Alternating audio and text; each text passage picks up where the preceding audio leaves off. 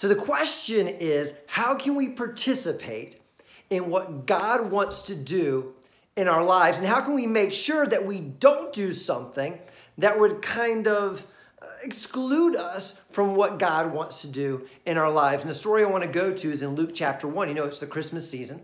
And I think this is very appropriate. So there's two people that were born, you know, around the time that Jesus was born, Jesus being one of them, that were very important. One of them being Jesus, of course, and the other one being John the Baptist, who I believe was born about six months before Jesus. So they were very close together in age. Okay. And so here's what happened.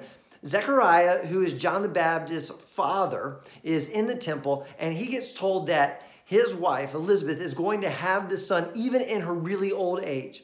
And he says this phrase, this is the key to the whole thing. He says, How can I be sure this will happen? How can I be sure this will happen? And because he didn't believe, the angel made him mute until his son was born. And what the angel says, because you didn't believe, but what, let's go a little deeper into that. What does it really mean when we don't believe what God is telling us that God is going to do? What we really are saying is, that we are taking on the responsibility that we believe it's not possible to happen through us. I, I don't believe that Zechariah, who served in the temple his whole life, I believe that he believed in God, that he was a God fearing man. I don't believe he was saying, This is impossible for you. He was a man who believed that God had created the heavens and the earth.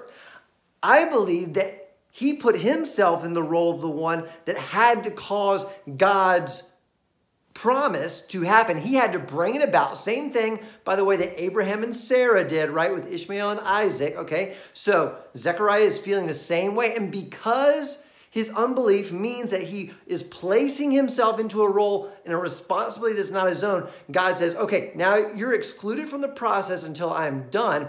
Not because I don't like you, because but because you've got the wrong understanding of our roles. Now, we go down a little bit further, and it's a beautiful contrast. The same angel comes to Mary, the mother of Jesus, and says, Listen, I mean, says to Mary something more extreme and unbelievable than what he said to Zechariah, right? He says, You're a virgin, but you're going to have a child, and the child is going to be God, the Son of God. And Mary does not say, How can I be sure this will happen? She says almost the same thing, but takes out a few words. She says, how can this happen? So she doesn't say, How can I be sure? How can I know?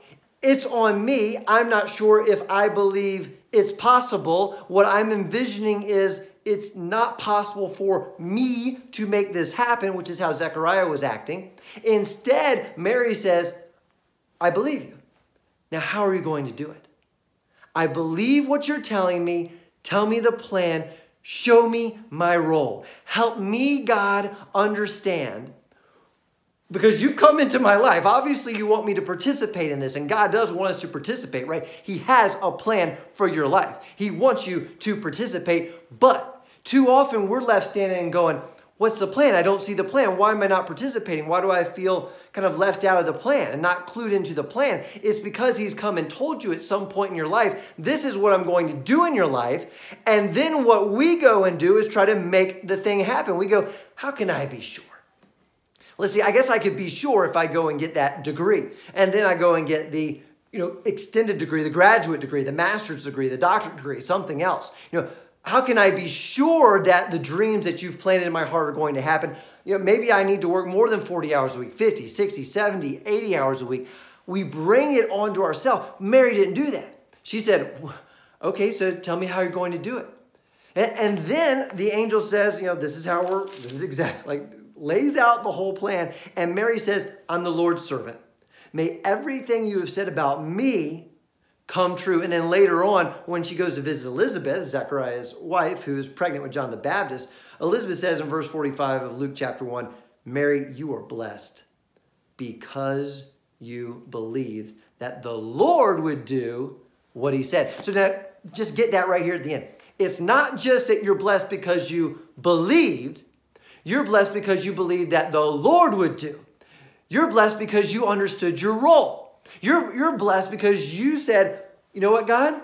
If you say it's going to happen and you say that's how it's going to happen, because I needed to know what the plan was to some degree because you know I just need to know what you want me to do. But I absolutely believe that you're going to do it, and I understand that it's up to you to do it. I understand that it's in your hands to do it. You know, the, the ball 90% of the time rests in your court. It's just kind of my role to believe, obey, and show up and go along with the plan.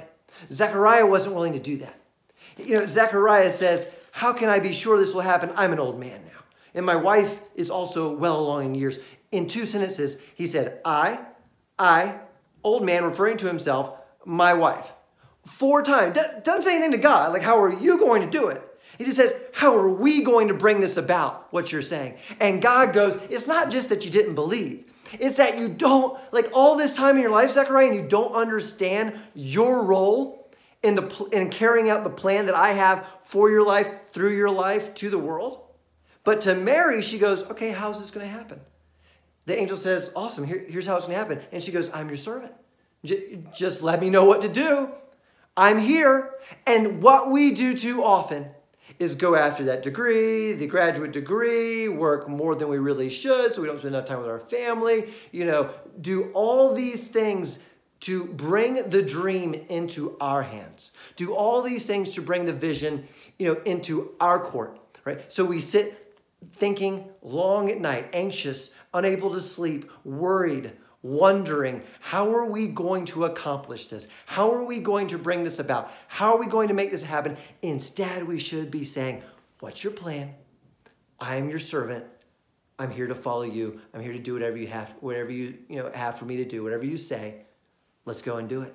And God's going to go, You believe. You understand my role and your role. Let's get to it. I want to do extraordinary and miraculous things through you, is what God is saying to you but he's going to do it. You just be obedient and available.